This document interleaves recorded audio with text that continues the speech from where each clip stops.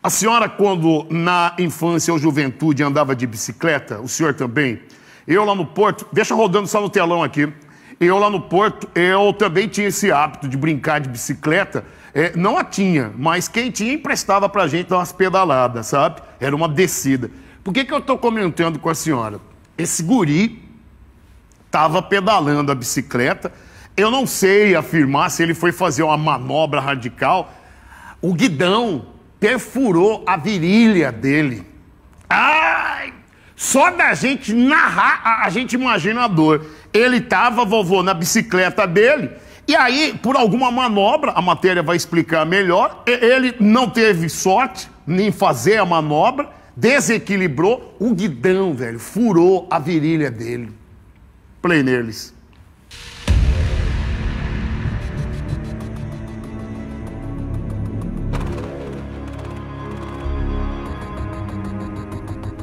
Um fato inusitado aconteceu aqui no município de Tangara da Serra. O jovem estava trafegando na Avenida Brasil.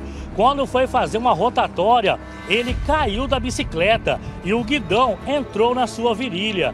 Uma guarnição do Corpo de Bombeiros e também a equipe do SAMU esteve no local prestando todo atendimento da vítima.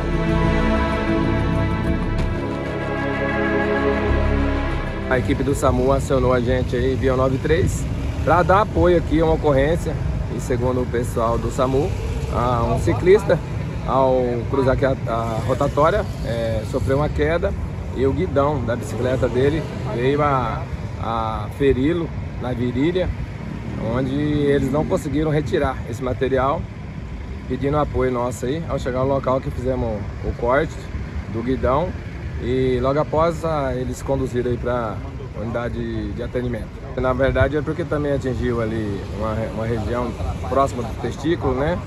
Ali a gente quer um certo cuidado. Sempre nesse caso a gente orienta sempre é, levar o, o, material empalado, né? Que fala. O material já é, não retirar o material, até porque pode ter uma hemorragia no local e mesmo que a equipe do SAMU aqui acaba é, ficando mais complexo do que propriamente lá na UPA, onde tem toda uma estrutura para atender esse tipo de ocorrência. Uma equipe da Guarda Municipal esteve controlando o trânsito, porque o acidente aconteceu no início da manhã, onde muitas pessoas estão indo para o serviço.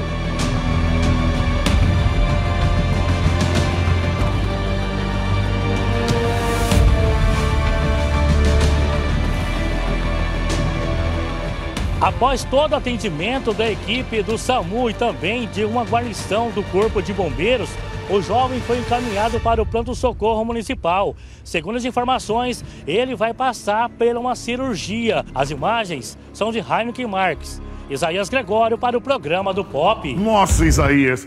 Enquanto a matéria era exibida, o Vitão estava aqui atualizando. Falou, Popão, o guidão foi cerrado, porque óbvio que os profissionais, sabendo não podem retirar ali, pode dar uma hemorragia, pode piorar a situação.